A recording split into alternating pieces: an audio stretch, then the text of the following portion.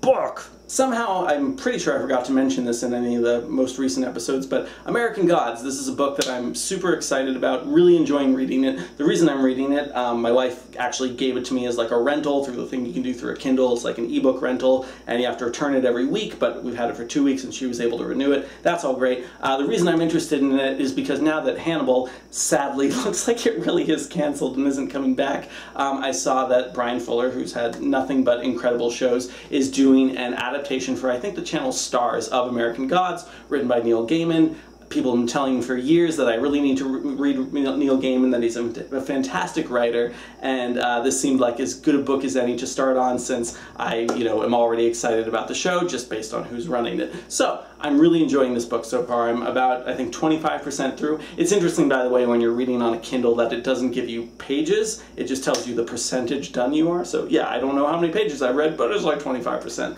And it's this incredible mix of totally surreal, batshit insane, you know, not sci-fi, but like fantasy kind of stuff, and then like really grounded emotionally driven characters that like you can totally relate to and totally understand the motivations of each one and you can look at so many of them and be like I know a guy just like that. And I just really enjoy the writing style. It's snappy it moves quick um, you know paints some wonderful pictures and I just like the story. There's there's a there's a mind at work here that that I really enjoy. One particular image that I've had recently I don't want to spoil anything in the book but you know there are gods in the book who are American and there's a scene where you're you're kind of seeing seeing the gods for the first time and there's all these kind of overlapped images. It's like okay here's here's a guy and he looks like this and, it, and it's a human form but then there's like this animalistic form and this weird spiritual form or ghost form and all of that is like simultaneous. And I've had I've had dreams that are kind of like that before so that was really cool to experience. Um, anyway I'll talk more about the book probably when I finish it but American Gods enjoying it very much and can't wait for Bryan Fuller to do some stuff with this especially the weird